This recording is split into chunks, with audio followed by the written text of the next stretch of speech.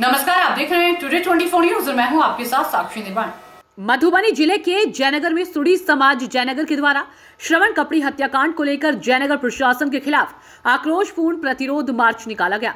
इस कार्यक्रम में वैश्य समाज के लोग शामिल हुए।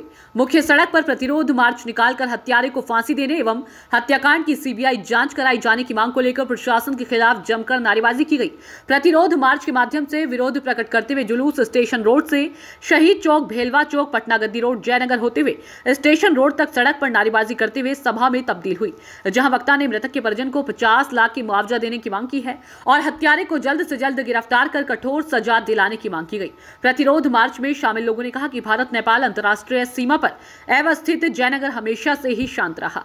यहाँ के व्यवसायी निर्भयता पूर्वक व्यवसाय करते आ रहे थे, लेकिन इन दिनों लगता है जयनगर अशांत हो गया। हत्या राहजन आम हो गई है। व्यवसायी दहशत में है। आज मृतक श्रवण कापड़ी की हत्या का पाँच दिन होने के बाद भी हत्यारे पुलिस की पहुँच से दूर है। उन्होंने हत्यारे की उन्होंने हत्यारों की अविलंब गिरफ्तारी की मांग की है। इस प्रतिरोध मार्च में विशंभर पूर्वे, प्रहलाद पूर्वे, डॉक्टर सुनील राउत, प्रवीर महासेठ, आनंद पूर्वे, दीपक खरगा, शंभु गुप्ता, मनीष कुमार, सुजीत यादव सहित अन्य दर्जनों लोग मौजूद थे।